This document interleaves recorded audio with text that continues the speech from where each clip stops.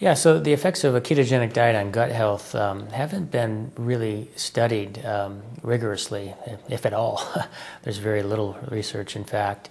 Anecdotally, you know, we uh, we see people um, uh, state their their GI um, if they had any GI problems or, or signs or symptoms, they tend to get better on a ketogenic diet. So we do have, you know, so, some pretty pretty consistent um, testimonials about a ketogenic diet helping uh, GI uh, related issues like irritable bowel syndrome or Crohn's disease. But it hasn't been well studied in any randomized clinical trials. But uh, my, you know, my thinking is um, we know the, the, the, colon and the, and the gut um, love butyrate.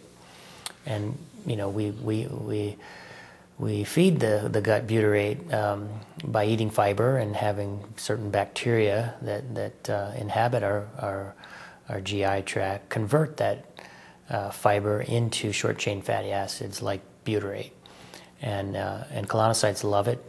Um, they thrive on it, and that's generally why we promote high fiber diets, is to, um, you know, because of that bacterial produced butyrate that, that then fuels the colon.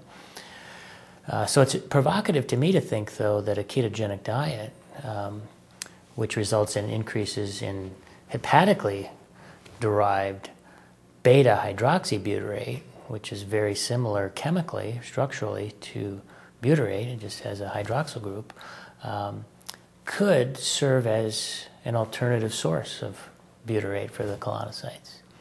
And in fact, there is some animal uh, research to support this. This may be the case.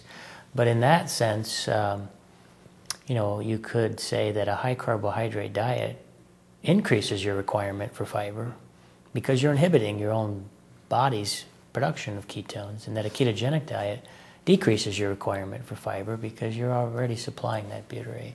That's the thinking anyway, but that, that needs to be you know validated in follow-up studies and so forth. But my thought is there's a positive effect on the gut health and the microbiome and microbiota composition on a ketogenic diet. But there's a lot to sort out there. It's enormously complex. We have this entirely different species cohabiting our bodies and living in symbi- in a symbiotic relationship normally not always but that's the you know that's the goal